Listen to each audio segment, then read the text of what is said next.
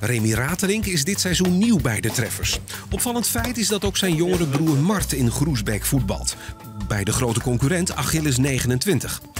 Tijd voor een kennismaking met de twee Achterhoekse jongens en hun ouders, die beide op hoog niveau volleybalden. Ja, dat ze iets met sport gingen doen, dat was duidelijk. Want de bal lag al in de box erbij. En het eerste woord wat ze konden zeggen was bal. Dus dat ze iets met sport gingen doen, dat, dat was gewoon En het was ook duidelijk dat ze gingen voetballen.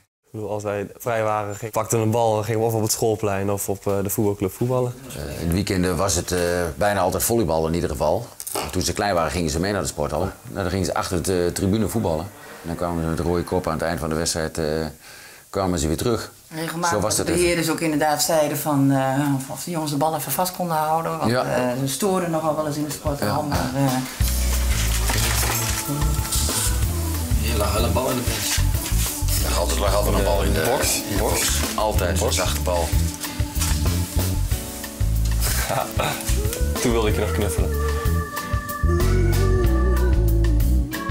Achilles kwam voor mij een beetje eh, ja, als laatste kans, laat maar zeggen. Die kans heb ik gegrepen. Was jij niet stikje jaloers, Remy? Nee, die tijd heb ik wel achter me gelaten om, eh, om het betaalde voetbal nog te redden. Dat, eh, dat, eh, dat hoeft voor mij niet meer. Ik wil wel zo hoog mogelijk spelen natuurlijk. Dus eh, de tweede divisie is wat dat betreft wel een, eh, een fantastische competitie. Groesbeek is natuurlijk sowieso al een eh, voetbalbolwerk.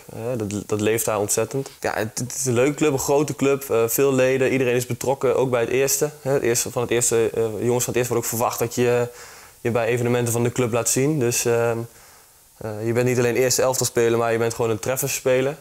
En wat gebeurde er in Huizen Ratering toen jullie hoorden van het eh, wordt Groesbeek voor allebei?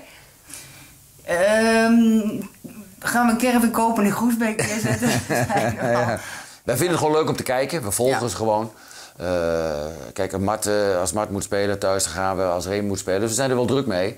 Ja, we moeten ook niet overkomen als, als, als, Nou. als de overdreven bloedfanatieke ouders van. Nee, is het maar dat doen we niet. Dus de eh, ik denk dat het nog wel meevalt. Ja. vinden het Ik denk dat het nog wel leuk meevalt. Ja. Maar we doen ook nog genoeg. aan. We zijn hier regelmatig eh, vroeg met de bal bezig geweest, ja.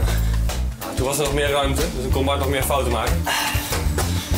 Nee, die ging wel eens een, eh, een raampje door vroeger, maar dat eh, nou, was nooit zo'n probleem hier volgens mij. Hè? En sta je nou bij je broertje langs de lijn? Nou, ik zal heel eerlijk zijn, ik eh, ben nog niet wezen kijken. Dat is misschien een beetje... ja, dat is niet helemaal netjes misschien. Nee, andersom wel hoor, ik sta regelmatig bij hem langs de kant. Hij kan de smoes van geen eh, vervoer of iets, dat, eh, dat heeft hij niet. En eh, hij kan altijd met mijn ouders mee. Alles voor de camera. Het enige wat jammer is dat je niet eh, tegen elkaar speelt. Nou goed, zeker eh, die wedstrijden daar in Groesbeek leven. Ja, zeker onderling. Ja, we gaan ervan uit dat die wedstrijd nog een keer komt. Best voetbal dit, hè? Dat valt niet tegen hoor.